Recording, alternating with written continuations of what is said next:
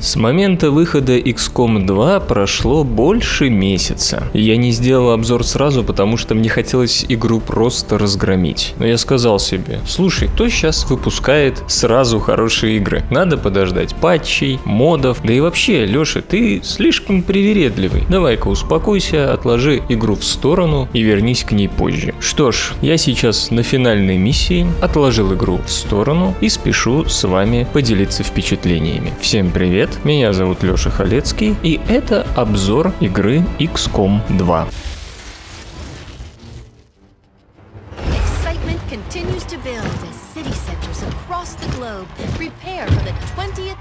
Anniversary of Unification Day. Thousands line up at the site of the Great Accord, celebrating the formation of the Advent Coalition. keeping with their promise to humanity, 12 new gene therapy clinics will be opening in select cities by the end of the new year. Despite the attempted attack by fringe elements, operations at the new facility in Paris thankfully remain unaffected. In response to the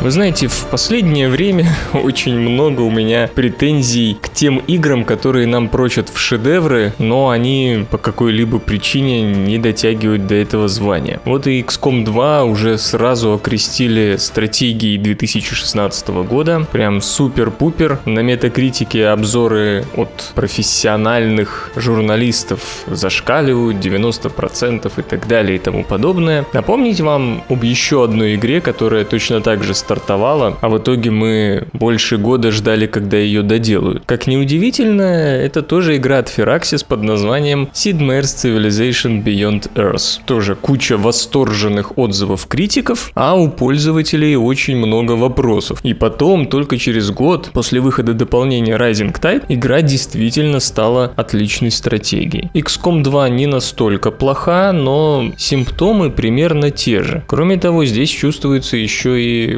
кое-что четвертого Fallout, а именно кризис идей, свежих и интересных идей. Но давайте обо всем по порядку. Самая главная претензия всех игроков была к оптимизации игры. Это вообще очень удивительно. XCOM 2 использует тот же движок, что и первый XCOM. Единственное отличие, что тут более качественные текстуры. То есть в техническом плане это даже не э, продолжение, а скорее такой э, аддон, типа как Beyond Earth э, к пятой циве. Поэтому очень странно видеть, что, казалось бы, такой знакомый движок для Firaxis внезапно вызвал такую кучу проблем. Игра тормозила в самых неожиданных местах. Я говорю в прошедшем времени, потому что вот на момент создания этого обзора вышел наконец-то долгожданный патч, в котором во многом оптимизацию поправили. Однако игра кое-где все равно продолжает притормаживать, но это уже не тот ужас, который был до этого. Многие даже на довольно мощных компьютерах просто не могли играть. Причем самое интересное, что игра в основном тормозила во время нахождения на корабле, где, казалось бы, как раз должно быть меньше полигонов, чем во время битвы. Самое во всем этом занимательное, что Firaxis не спешила с выпуском патча, он вышел только через месяц после старта игры. Там выходили какие-то мелкие ходфиксы, которые ни на что не влияли. Хотя Firaxis всегда славилась своей неповоротливостью в этом вопросе. Стоит вспомнить, что после выхода Beyond Earth они сломали напрочь мультиплеер в пятой циве и в Earth соответственно, и чинили это тоже больше месяца. При этом, если вернуться к XCOM 2, Firaxis даже не думал откладывать такой необходимый для XCOM 2 аддон, как новые прически и новая одежда для ваших оперативников. Да-да, ближайший аддон в стратегию будет добавлять новый внешний вид, а не какие-то стратегические штуки. Вообще, по-моему, какая-то фигня происходит с компьютерными играми. Смотрите, аддон в четвертый Fallout добавляет не новые квесты, не новые какие-нибудь города и так далее, а возможность разводить своих домашних животных и создавать арены для битв в ролевой игре. Первый аддон для стратегической игры добавляет в нее новые прически и курточки с молниями. Если вы меня спросите, что такое кризис идей, то я вам вот показываю. Вот это и есть кризис идей, когда люди думают, на чем им заработать денег и ничего лучше не придумывают, как пришить кошке пятую ногу, подарить лысому человеку расческу, добавить в стратегическую игру новых клевых шортиков. То есть люди тратят время на какую-то шелуху вместо того, чтобы улучшить саму игру. Руководитель проекта XCOM 2, между прочим, после выхода игры клятвенно в своих интервью заверял всех нас, что он был не в курсе, что такие большие проблемы с производительностью будут. А я вам на простом примере покажу, что он не только был в курсе, но и пытался это как-то исправить. Знаете почему? Потому что очень многие э, кинематографические вставки в XCOM 2 сделаны как видео. Кто играл в первый XCOM, помнит, что все вставки были на движке, все на движке, и это нормально показывалось. У меня тогда еще был старый ноутбук, и несмотря на это, XCOM летал сразу же, как только он вышел. Во втором XCOM ребята поняли, что они не могут оптимизировать игру к выходу, и они решили самые прожорливые кинематографические вставки, которые тоже, кстати, на, движке все еще сделаны, на движке, но они их отрендерили в видео и вставили в игру. Кое-где продолжает работать движок, да, там, где взлетает ваш пепелац на очередное задание, или когда они возвращаются, когда высаживаются на место битвы, и там, кстати, как раз самые дикие тормоза, собственно, начинаются. Но кое-какие вещи просто отрендерили в видео, чтобы не напрягать ваш компьютер до полного не могу. И это как раз означает, что Firaxis прекрасно знали, что у них проблемы с производительностью. Ладно, они выпустили патч, я думаю, это все будет правиться, фиг с ним. Ведь если игра интересная, то можно и закрыть глаза на тормоза, извините за стишок, и наслаждаться самим процессом. Вот тут э, начинаются проблемы. Даже если открыть любой положительный отзыв на XCOM 2 в Steam, вы увидите, что там будет написано «игра классная, но...» и пошло перечисление того, что человеку не нравится. И я так вам скажу, несмотря на всю мою критику, а это в основном будет критический обзор, я все-таки в XCOM 2 рекомендую играть. Почему об этом позже? Но это точно не игра года, и я очень сомневаюсь, что это стратегия года, потому что лично мне и по новизне, и по игровому процессу на данный момент больше нравится Darkest Dungeon. Так что же не так э, во втором XCOM? Ну,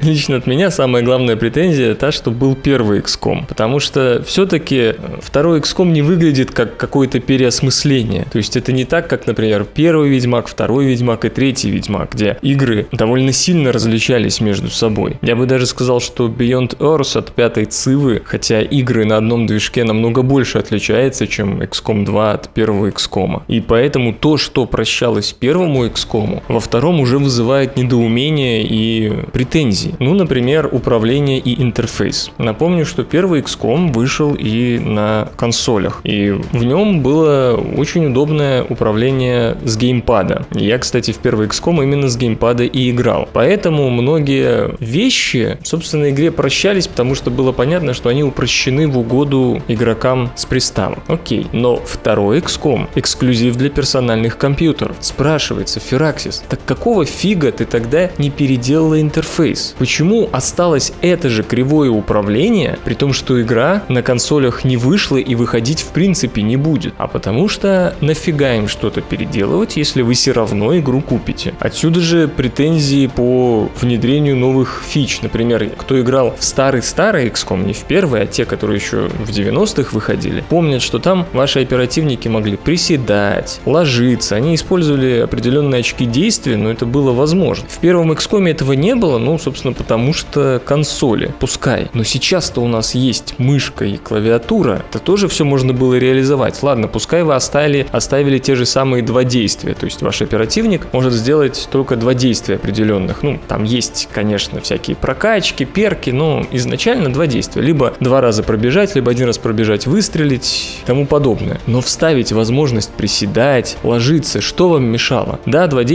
более динамично, но и использование новых тактических моментов, которые невозможно было реализовать с геймпадом, должны быть, правильно? А этого ничего нету. То есть тот факт, что игра выходит на персональных компьютерах, на самом деле в самой игре никак не используется. Тот же корявый интерфейс, тоже корявое управление, что и было в первом XCOM. Они не поменяли ничего. Кроме того, очень многое просто упрощено. Ну, не знаю, что вам привести в пример. Например, э, дымовые шашки в первой части игры давали защиту от обхода с фланга. То есть, если вас инопланетянин обходил сбоку, да, то вы теряли защиту, и он мог вас спокойно убивать. Если вы кидали домовую шашку, то, собственно, защита у вас оставалась. Что делается во второй части? Домовая шашка просто дает плюс 20 защиты. Поэтому дым во второй части просто никто не использует. Изменили подавление, то есть можно было, ну и сейчас, конечно, тоже во второй части можно это сделать. Ваш оперативник э, как бы начинает обстреливать инопланетянина, и за счет этого либо получает какие-то бонусы, либо штрафы для инопланетянина. Что было в первой части? Он либо э, тот соперник, кто под подавлением, обязан выстрелить в ответ, либо он просто не может двигаться. Здесь же юниты могут спокойно двигаться, ну, они в них выстреливаешь, но это, э, грубо говоря, тот же Overwatch с использованием хода. То есть убирается еще одна механика из игры, убирается еще одна возможность, еще одна стратегия. Много просто вопросов по балансу и, ну ладно, баланс будет правиться, фиг с ним. Давайте по самым главным просто претензиям. Это, конечно же, знаменитый рандом XCOMовский. Не знаю, может я постарел, может я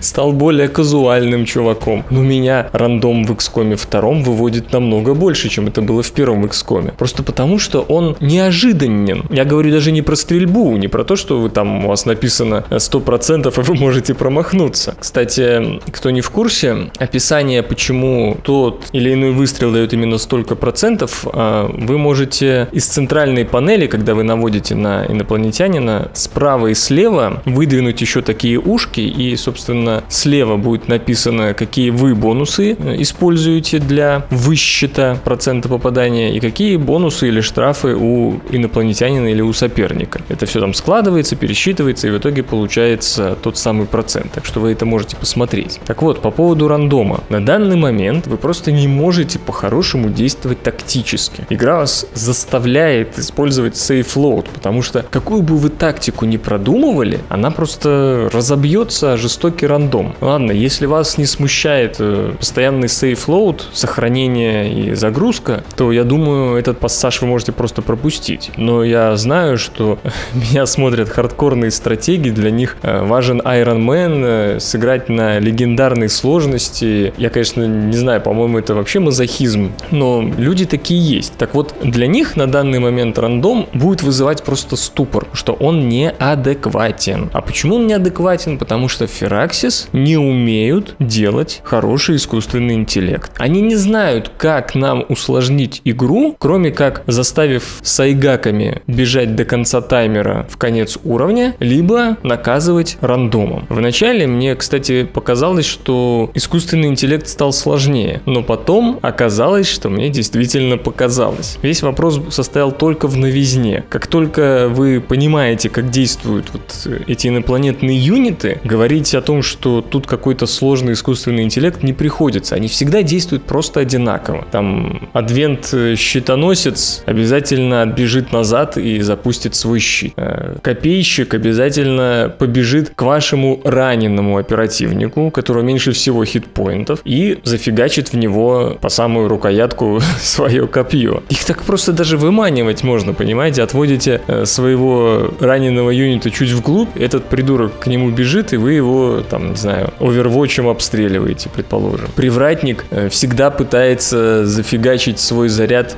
либо где большое скопление ваших юнитов, либо где большое скопление трупов, чтобы их поднять. И тоже несется в самую глубь вашего построения. Если в начале игры кажется, что действительно соперники какие-то умные, то потом понимаешь, они тупые, как пробка. И единственная возможность хоть как-то создать нам сложность, боже, что я сегодня стихами так говорю, это создать вот такие проблемы с рандомом. При этом ничего в плане битвы во втором XCOM по сравнению с первым не изменилось. Вы опять взбудораживаете инопланетян пачками по три и постепенно их убиваете. То есть в каждой битве находится кратное трем количество инопланетян, наткнувшись на которые вы их заставляете разбежаться по защитным местам и потом можете атаковать. Почему Фераксис не может сделать то, что было в старых экскомах, когда инопланетяне находятся в разных неожиданных местах, занимают защитную позицию сразу, могут сами на вас выбежать и так далее? Да потому что в игре нету искусственного интеллекта. По-хорошему, задача разработчиков в данной игре была, чтобы инопланетяне 2-3 хода что-то типа умное делали, а потом умирали. Потому что их если оставить одних и заставить там двигаться по карте без э, срабатывания триггеров на разбежку по защитным местам, то придется придумывать алгоритм для искусственного интеллекта. А с этим у Firaxis очень большие проблемы, судя по всем их последним играм. А чтобы нам игра совсем уж медом не казалась, то каждую вторую миссию теперь встроен таймер. То есть вы должны за определенное количество ходов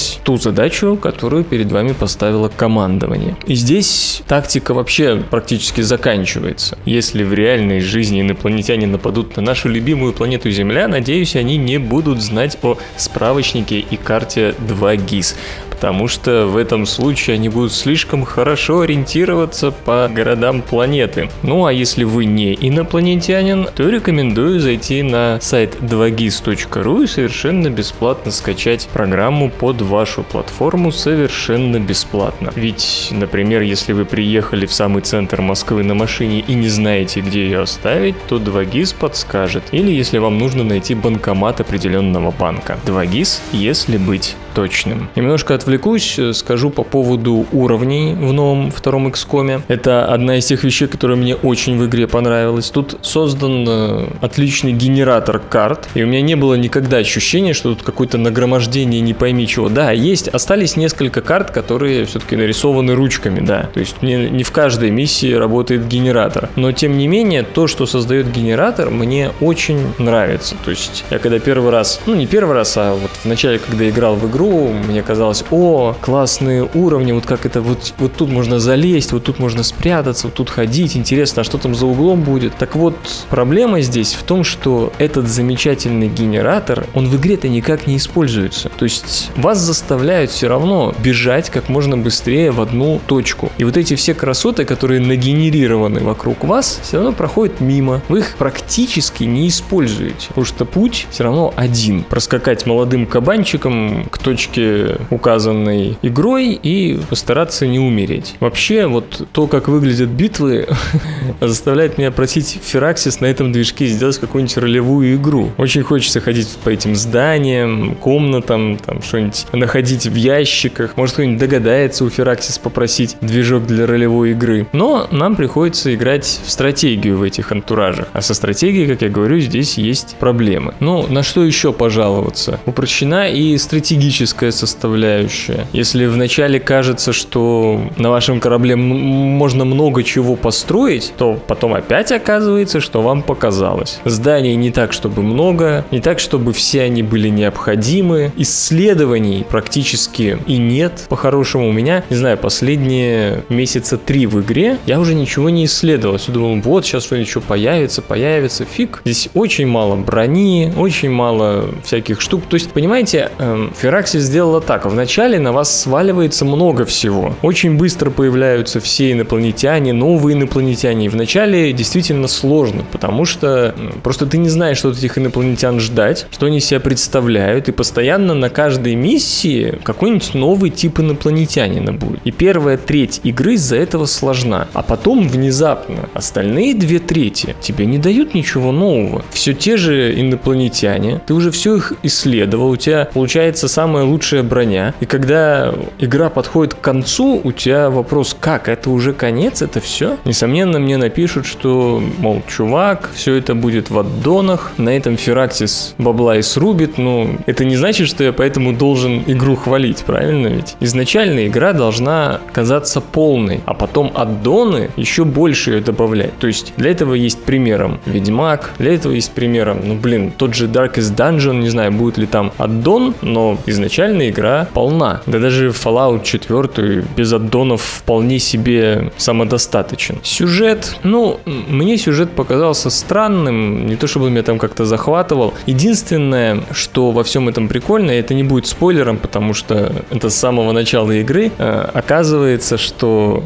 вы тот же самый шеф или командир, ну, шеф это переведено в русской версии, да, кстати, конечно, локализация отвратительная, перевод отвратительный, во многих многих местах просто орфографические ошибки. Так что, если есть возможность, играйте все-таки на английской версии. Тем более, что озвучки все равно нету. Ну, меня, например, это устраивает, но в данном случае я могу сказать, что текстовый перевод подвел откровенно. Сделан халтурно. Ну так вот, э, оказывается, что вы тот же самый командор из первой части XCOM. То есть второй XCOM начинается с миссии по нашему с вами э, вызволению из плена инопланетян, и вы типа продолжаете свое дело первого XCOM. Вот тем, кто играл в первый XCOM, э, в течение всей игры у них будут такие, как мурашки по коже в некоторых местах, когда э, будет, будут отсылки к первому XCOM. Вот это сделано, по-моему, классно. То есть идея хороша. Сам же сюжет про борьбу с пропагандой, с инопланетной пропагандой, типа вы такое подполье,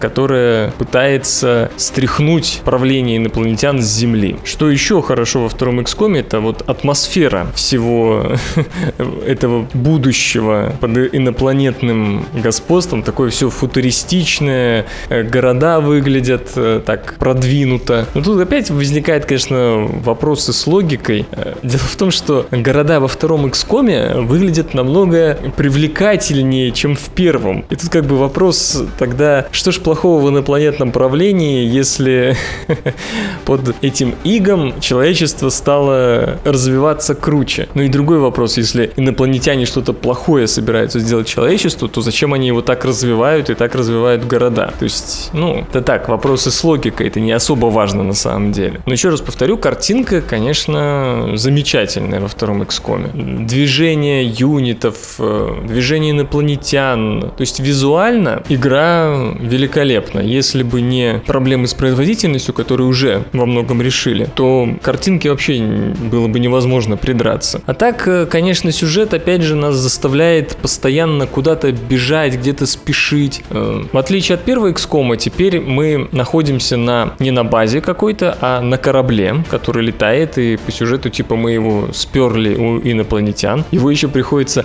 э, в нем, в этом корабле приходится разбирать завалы периодически, которые нам тоже кое-что дают. И вот он летает с места на место, подбирает всякие полезные штуки с Земли, э, наводит мосты и связи с сопротивлением в разных уголках Земли, нашей планеты. И таким образом вот сделана стратегическая часть. Почему это тоже раздражает? Потому что опять тут есть таймеры. Например, вам пришло пришли деньги, ну, месяц за содержание, там, положим, 700 долларов, вам надо лететь в определенное место, то есть они к вам не на счет куда-то приходят, не в руки, а валяются где-то на земле туда. Вам надо лететь в это место и три дня, типа, эти ящики с 700 долларов собирать. Я даже себе визуально не могу это представить, как это сделано, потому что, не знаю, по одному доллару, что ли, раскидано по всей этой земле. Как, что там три дня можно делать? Ну, понятно, что это ради баланса сделано, но видите, ничего другого разработчики не смогли придумать. Более того, вы нажимаете на таймер, как бы, вот начинаются отсчитывать эти три дня, и обязательно где-нибудь э, к концу последнего дня, когда вам кажется, что вы уже все собрали, происходит какое-нибудь событие на карте, куда вы должны прям немедленно лететь. Иначе все, печаль, беда, все пропадет. И вам, вас постоянно заставляют это вот метучней заниматься по всему земному шару, при этом бросая на полпути то, что вы в данный момент делаете. Опять же, раздражают эти миссии, э, когда вам вам предлагаются три миссии на выбор. Вы не можете все три пройти. Вы обязаны выбрать только одну, и две остальные вы не проходите в это время. Опять же, примерно то же самое на самом деле было и в первом XCOM. Но я говорю, это было простительно для начальной игры. Самое классное, вот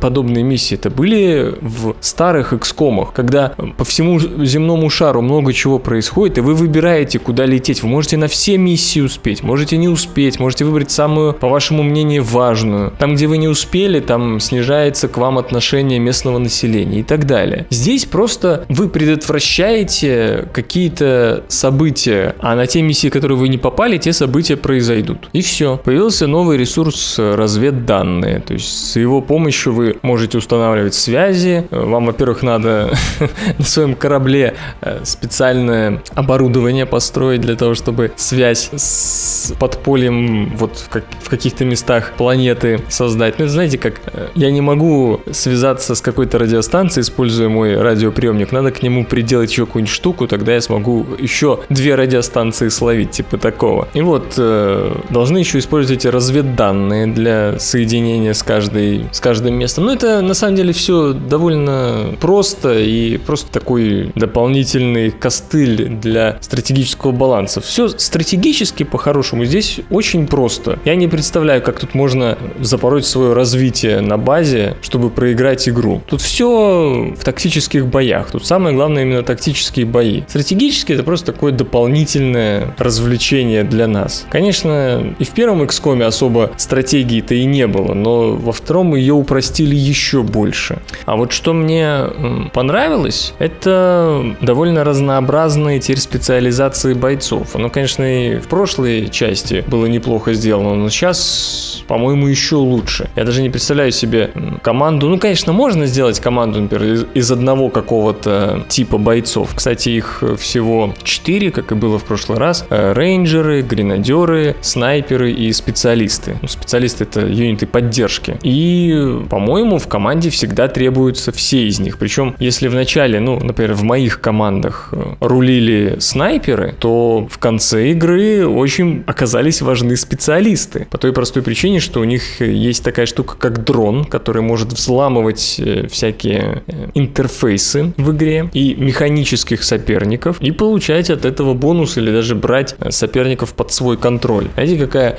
радость происходит, когда вы берете под свой контроль такого огромного механического бойца Адвента и начинаете против соперника его использовать. Тоже там определенный рандом есть, есть э, вероятность взять его под контроль, есть вероятность, наоборот, только выключить, а не под контроль взять, но все равно все это очень важно. С другой стороны, специалистов можно не брать, а просто укомплектовать ваших гренадеров бомбами против электронных соперников, и, и бомбы их будут выключать. Ну, тут есть простор для тактики, действительно. И в данном случае я все-таки перейду э, к той части моего обзора, которая объясняет, почему я эту игру рекомендую, несмотря на мою такую беспощадную критику все предшествующие минуты. Потому что игра все-таки имеет э, свой шарм, вот эту атмосферу XCOM-овскую. Проблемы с рандомом, ну, я для себя, знаете, что сделал? Просто мысленно прибавляю 30% к тому числу, которое мне высвечивается. То есть, э, соврал, отнимаю, отнимаю 30%. То есть, если, грубо говоря, мне написано, что 80% вероятность, что я попаду в инопланетяне, значит, я считаю, что это 50%.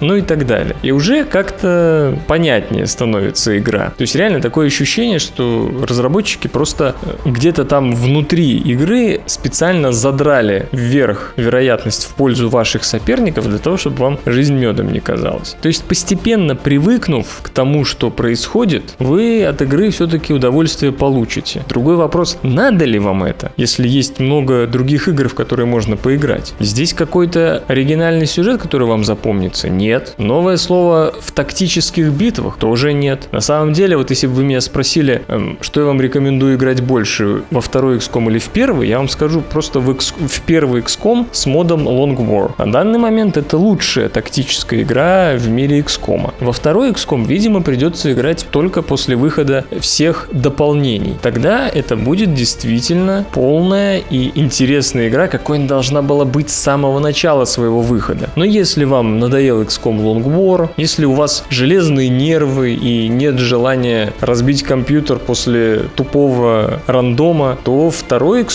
конечно, для вас. Я в итоге все-таки в игру втянулся и удовольствие свое получил. И, в принципе, не жалею о потраченном времени. Здесь есть много улучшений по сравнению с первым XCOM, но в целом это все-таки не особо оригинальная игра. И вызова вам как тактику, мне кажется, она не предоставляет, потому что по сравнению с первой частью упрощена. Так что если вы действительно хардкорный стратег, тактик, то рекомендую подождать полгодика, как выйдут все дополнения, и тогда со спокойной душой и совестью приниматься за второй XCOM. Тем более, я думаю, тут появятся и моды от других игроков, которые игру допилят. Тоже, конечно, очень не нравится мне эта тенденция, что разработчики нам выпускают обычно сырую игру, а сами пользователи ее доделывают до удобоваримого состояния. Но другого выбора просто у нас сейчас нету. Так что XCOM 2 я рекомендую, но с очень большими оговорками. На этом все. Пользуйтесь 2GIS и играйте в умные игры. Спасибо, что досмотрели до конца. Я Леша Халецкий, тот, кто сделал это видео. У меня к вам несколько просьб. Во-первых, не забудьте поставить лайк, а во-вторых, поделиться этим видео, раз уж вы смотрели до конца, видимо, оно вам понравилось. Я вам буду благодарен, и это поможет распространению моего творчества для более широких масс. На этом все. Играйте в умные игры.